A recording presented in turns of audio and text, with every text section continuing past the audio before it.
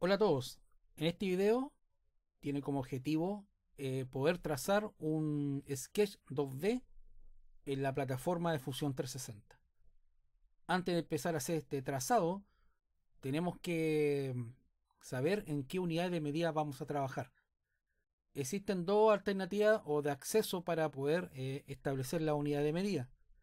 Existe esta que está en el engranaje, que si yo abro acá aparece en milímetros y aquí al lado puedo cambiar, ¿no es cierto?, a centímetros, metros, pulgada o pie. O también me puedo ir a las preferencias del usuario, acá en preferencias, y acá en diseño aparece también, ¿no es cierto?, eh, la misma alternativa, centímetro, metro, ¿no es cierto?, pulgadas y pies. Entonces, eso es lo primero antes de empezar a dibujar. Ahora que ya tenemos esas mm, unidades, eh, lo básico sería eh, crear una carpeta donde va a estar guardado nuestro archivo. Entonces los vamos al data panel. Vamos a ir acá al principio. Eh, voy a mm, acceder a una de estas carpetas o de estos proyectos. Si ustedes quieren crear uno nuevo, lo hacen acá. Vamos a ir acá a lámpara. Doble clic. Y acá en lámpara tengo solamente un proyecto que es un ensamble. Entonces nosotros ahora, eh, ¿qué podríamos hacer? Ir acá atrás nuevamente, lámpara. Los vamos, podemos crear una, una nueva carpeta. Vamos a colocar test 1 sobre este test 1 que se está guardando en el servidor de Autodesk. Doble clic y aquí obviamente no aparece nada en esta parte porque no hemos guardado absolutamente nada tampoco. Entonces yo voy a hacer un primer, eh, un primer save y va a preguntar cómo se va a llamar el, el, archivo y vamos a colocarlo del mismo nombre, ¿no es cierto? Entonces el nombre del archivo dentro de la carpeta y dentro del proyecto que es lámpara. Y ahí está un save y aquí se va a actualizar, ¿no es cierto? Por eso aparece este, esta ruedita. Entonces no va a aparecer absolutamente nada hasta que empezamos a construir. Esto que está listo, esto sería lo, más básico para empezar a trabajar. Yo voy a, cerrar esto. Entonces, eh, Fusión 360 primero te ofrece este espacio de trabajo. Em, es totalmente flexible. Pero la pregunta es cómo, cómo, dibujo. Acá yo no podría dibujar en una perspectiva porque costaría mucho. Em, esto es como si fuese una hoja de papel que yo extiendo sobre una mesa. Entonces, si fuese así, la hoja de papel tendría que estar así de frente. Entonces, para que esta, esta rejilla esté de frente, que la pueden acceder acá, recuerden eso, ahí la puedo activar o desactivar. Me voy o pincho top, entonces ahí se ve la rejilla de frente que yo ya podía empezar a, dibujar. También podría trabajar acá en front, right, ¿no es cierto? Y todas las caras de este cubo. Pero lo siempre hay que tratar prever que sea en la vista superior. Y cuando yo empiece a trabajar empiece de este punto que es el punto 00 en el espacio. Entonces, eh, para, para trazar una línea tengo que marcar acá donde dice crear sketch.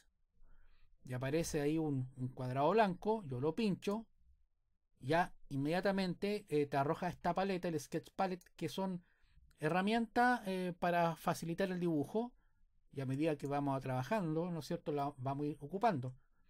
Recuerden que si yo quiero mover este, este espacio, puedo ocupar, aprieto la rueda central del mouse, ¿no es cierto?, de tres botones y puedo hacer un paneo que es el que está acá abajo. Entonces, con la letra L o el icono acá de línea, yo me acerco al extremo y puedo trazar una línea, puedo trazar otra, se fijan, y ahí a donde aparece el ticket podría soltar Podría lanzar otra línea por acá, otra acá, y puedo llegar al final de la otra. Y acá puedo hacer lo mismo. Entonces, aquí tengo un sketch que está cerrado porque se ve que está de diferente color. Eso quiere decir que es un sketch que ya yo lo podría darle un volumen. Ahora, claro, nosotros trazamos líneas sin medida. Si yo quisiera colocar una medida, aprieto la tecla D me acerco un extremo y aparece la medida en milímetros. Por ejemplo, dice 181, vamos a colocar 175. ¿Se fijan? Entonces uno podría, por ejemplo, trazar otra medida acá, 120 y así uno va cambiando las medidas y no solamente las medidas de, las líneas sino también de un ángulo por ejemplo acá con esta con esta línea se puede ver que dice 134 vamos a colocar 140 entonces eh, esa es la forma como se trata un sketch. Ahí aparece que está sobredimensionada no es cierto por ejemplo aquí 130 ¿se fijan? Eh, eso es una forma. Eh, cuando yo quiero trabajar y que esto sea un modelo 3D siempre tiene que estar el sketch cerrado. Entonces si yo por ejemplo borro esta línea, o sea, me acerco un extremo y suprimir, eh, automáticamente el sketch te está indicando que no se va a poder extruir como un volumen 3D. Entonces eh, siempre tiene, hay que prever que tiene que estar cerrado. Y yo lo estoy cerrando de esta forma. Entonces, por ejemplo, aquí hay una línea que está de más, suprimir. Pero si yo marco esa línea, suprimo, obviamente el sketch queda abierto. Control Z. Lo que necesitamos es borrar. Para borrar existe acá en Modify eh, Trim, que es borrar, o la tecla T. A ver, ahí, ¿se fijan? Yo estoy eliminando estas líneas que están de más. ¿Se fijan?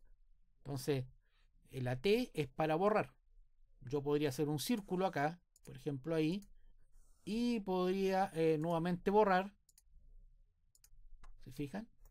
O podría hacer un círculo acá que le vamos a colocar una medida, en este caso 25, eh, y yo podría colocar la, medida de, la, de esta circunferencia a la medida que yo obviamente desee. ¿Se fijan? Ahí la, la marqué en X y en Y. Y acá dice 48.6.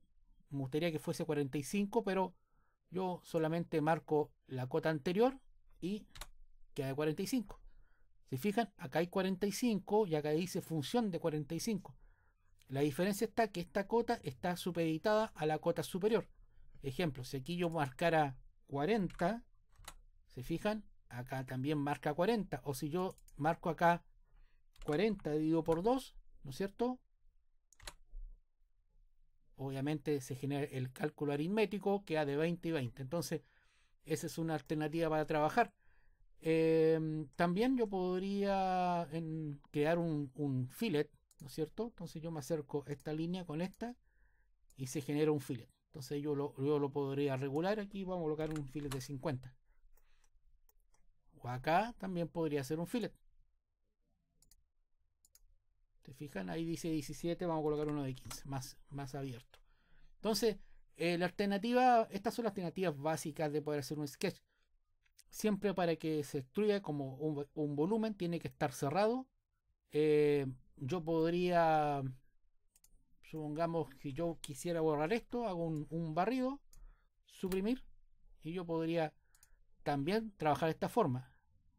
Línea, ahí se ve que está marcando 103, yo podría colocar 100, ¿no es cierto? L, y ahí, y a medida que yo voy construyendo, voy eh, acotando o colocando una dimensión ejemplo, ahí creo que cometí un error, ¿no es cierto? Vamos a pegarlo ahí. Entonces D 60 y así eh, sucesivamente. Esto es lo más básico, ¿no es cierto? En, trabajar en fusión, crear un sketch. Eh, siempre, en primer lugar, trabajar del centro. En este caso, medio milímetro. Em, recuerden si es para cortar con otra línea, una, una, línea que, por ejemplo, que cruza acá, ¿no es cierto? Tecla T, ¿no es cierto? Y vamos eliminando cosas que mm, a veces molestan mucho cuando el, modelo es bastante complejo, por ejemplo. Ahí esas cosas uno las elimina para que se facilite el trabajo. Entonces D, D es dimensionar, T es cortar. Nada más que hacer, fillet es redondear y aparecen muchas otras, otras herramientas que las voy a ir enseñando a medida que vayamos avanzando. Bueno, eso sería todo por ahora. Gracias por su atención.